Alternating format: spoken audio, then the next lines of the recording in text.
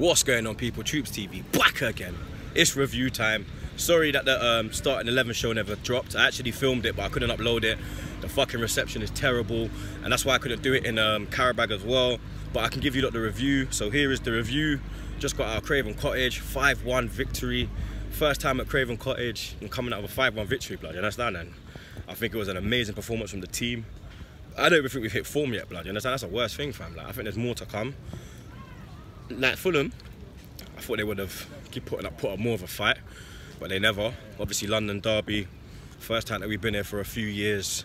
I thought they would have been up for it, but they really wasn't. Like I was worried about Mitrovic causing our defence problems. Obviously, Sokratis never started; he was on the bench, so I was a bit worried with um, Mon with uh, sorry uh, Mustafi and Holding. But they bossed it, fam, from start to get, from start to finish, bossed it. Torreira again, bruv, like this brother's fucking amazing, fam. He is amazing, but I said it already. We got the white Kante, fam. You understand? We really have the white Kante, and we're looking really good, blood. And it's it's it's, it's amazing to be an Arsenal fan right now, blood. Like, it's a there's a real feel good factor around the ground.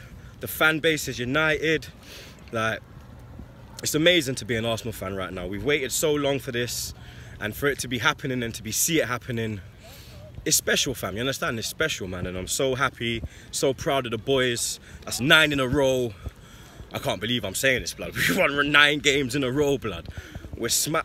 It's amazing, fam. You understand? Big up Emery, big up Bellerin as well. I think his crossings really improved. I think he's he's improved as well this season.